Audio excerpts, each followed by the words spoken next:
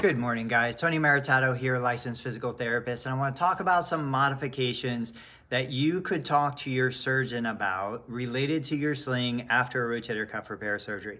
So I've been treating patients following rotator cuff repair for nearly 20 years now.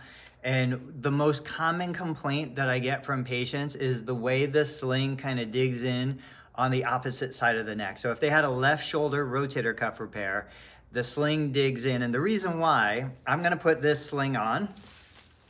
Uh, typically what's gonna happen is there's gonna be the strap that comes around the waist. There's gonna be the strap that comes over the shoulder from behind the elbow. This is gonna clip in. And what most of my clients are gonna experience is this part of the strap up here is gonna dig in real tight into that uh, base of the neck, the cervical plexus, all of the nerve roots. And usually what ends up happening is because this is digging into the side of the neck, certainly it's compromising blood flow, but it's also causing you to kind of cringe and, and tighten those muscles for prolonged periods of time.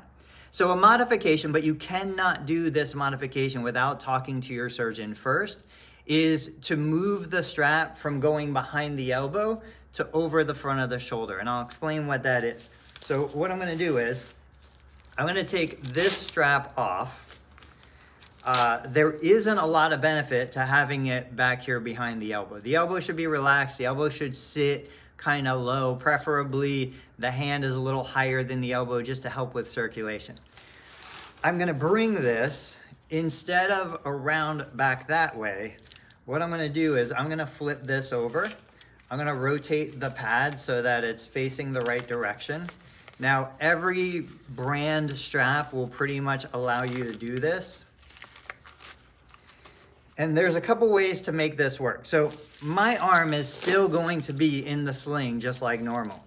This part here is gonna come over and what happens is on the end, the Velcro, this is kind of an interesting clasp. Most of the time, this Velcro opens up into this kind of Y shape. And so what I would do is I would bring this around, either on the bottom, um, the waistband, I can fold this strap over. I can put that Velcro back in place. And now this will attach right there. So I'm still getting the benefit of elevating the hand. My elbow is relaxed, my shoulder's relaxed, the hand's sitting in the sling properly. I've got it set up from all directions, but this is taking the pressure off the base of the neck and more bringing it out to the side of the shoulder. In some cases, if you don't like the way this is on the waist strap, you can also come back in, apply it right there. And truthfully, this is the most comfortable position. Now the complaint here would be, well, what if this comes off the side? What I like about it is for most like daily activities where I'm standing, this is gonna be in a good position. When I take a seat, I actually can slip that off because what's happening is the arm remains protected. It's still in the sling, the waist strap is here. And because I'm sitting, this is resting more on my legs than anywhere else. And it gives my other shoulder a chance to kind of relax. So this harness, where it comes over the opposite side shoulder, could give you some relief. And maybe your surgeon says, no, you're not allowed to do it for whatever particular reason.